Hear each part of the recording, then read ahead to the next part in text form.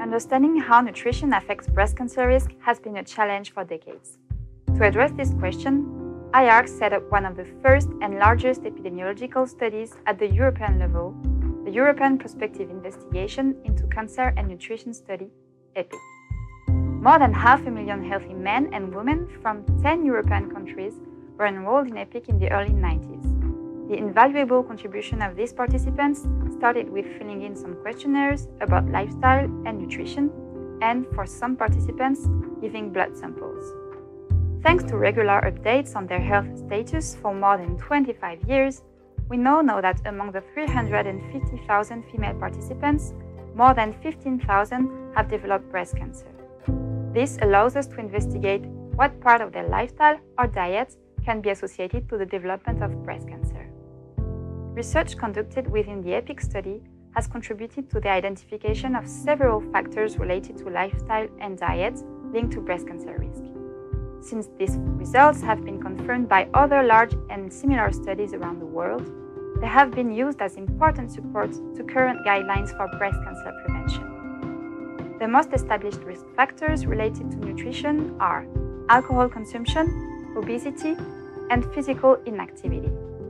Indeed, Thanks to results from EPIC and many other studies, alcohol consumption is known to increase the risk of breast cancer with an increase in risk of 5 to 10% per alcoholic drink per day and should therefore be avoided. In EPIC as in other studies, obesity and weight gain in adulthood were associated with an increased breast cancer risk after menopause, a time when most breast cancers occur.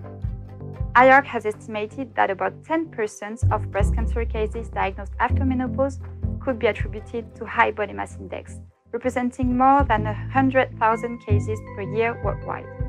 Unfortunately, given the current obesity epidemic in most countries, this number is constantly rising. On the contrary, being physically active can decrease your risk of breast cancer.